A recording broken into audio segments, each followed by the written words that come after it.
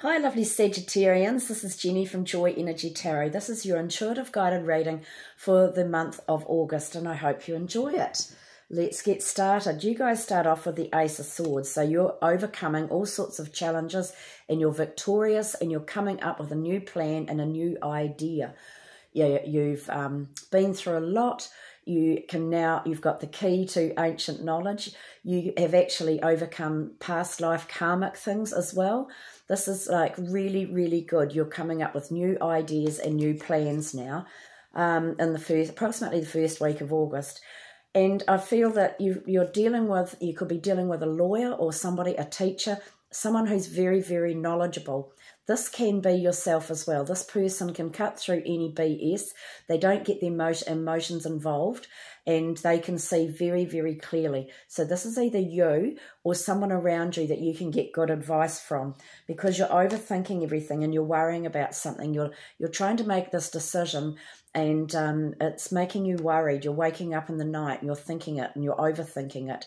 So there's something that you're going through at the moment, but you've got the Ace of Swords. So I feel that you're going to come up with a new idea and a new plan to help you stop thinking about it. Or this new plan is exciting and you are overthinking about it. Um, actually, oh, so I've just asked for a clarifier for, from for, oh my goodness. It's going to be, oh, wow, there's a big story going on here. Um, so you're overthinking it in this new plan. You've got the magician. Uh, you can make things happen. You do a lot of there'll be a lot of communicating coming through, but you will be able to talk them into your way of thinking. Have faith. You're very very wise. Tap into your ethereal knowledge, working with your angels, your ancestors, as well as the physical world. You're very wise. Don't underestimate your own knowledge. It's a new beginning. Jump in and go for it and use your intuition. This is where you're weighing up your options. You're ready now for this next journey in life. Then we go on to the second week, Nine of Pentacles. You can do things on your own. You've got the ability or the money or whatever it is to do things on your own. If you're worried and you're and you're um, scared of doing something on your own, even if you're in a relationship, you've got the ability to do things on your own. It could be a new side business or something, but you're feeling quite trapped. You've actually that second week you've got you've trapped yourself. You've earned your angel wings. You're in a little cage. The the lid's open, but you can't see it. You've trapped yourself with your own thinking because you are overthinking everything um, and worrying about everything. You've got that Nine of Swords and the Eight of Swords. It's all about in your in your head. So while you're like that, I would suggest you write down the pros and cons of all your choices to get it out of your head because this is stinking thinking. You're holding yourself back.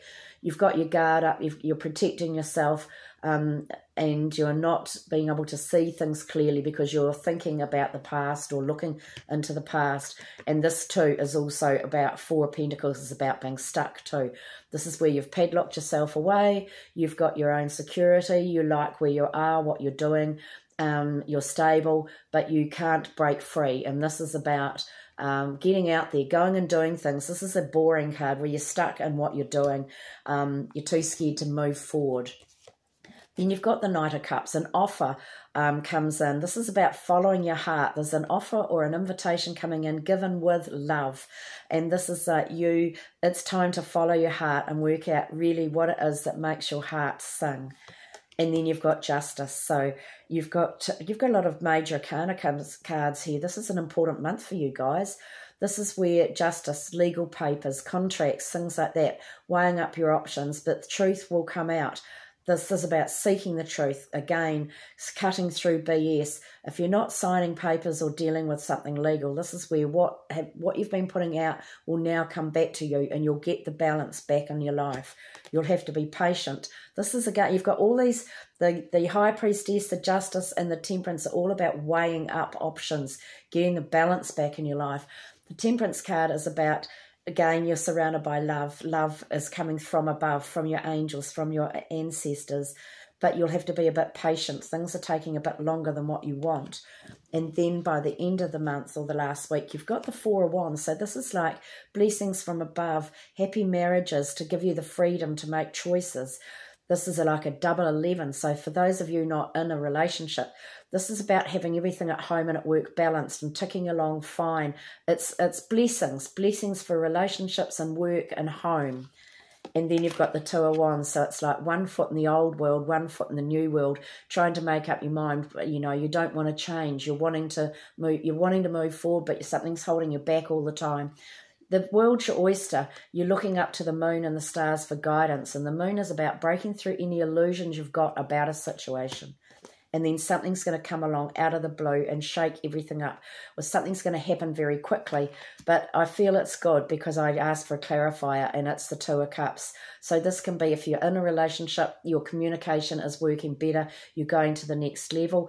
If you're looking for love, this is your soulmate if it's not that, this is where you are doing work on yourself, believing in yourself, but you're learning. The whole situation is about learning. And then you've got covering that whole reading, the beginning, Ace of Wands, learning something new. Could be the beginning of a new job, a new project, something physical. You've got something new, and it's going to really help you grow. But you've got a separation there, and that sort of upsets you. You're either carrying old hurt from the past, or you're um, carrying sadness, or you've got a decision to make, and one of these is going to involve a separation of some sort.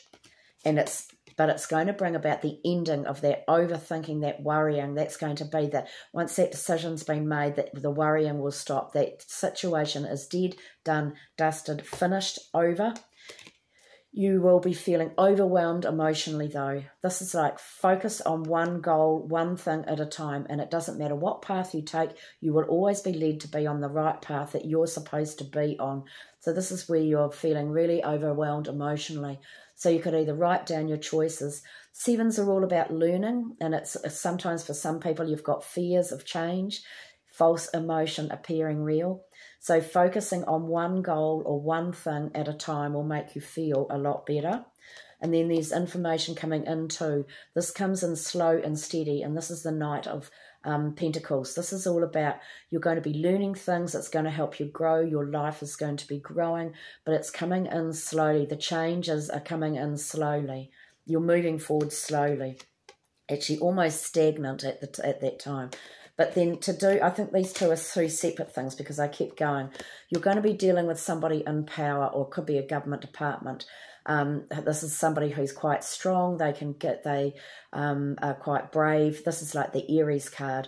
Now, this can be you, where you are now taking control of your life. You're learning to delegate. You're manning up. You're feeling it's not a man though, but you're strengthening up. You're stronger. You're braver.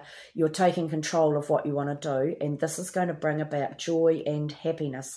So you're either dealing with somebody in power, or you are feeling stronger in power, and you're going to be feeling a lot lot happier for where you are at.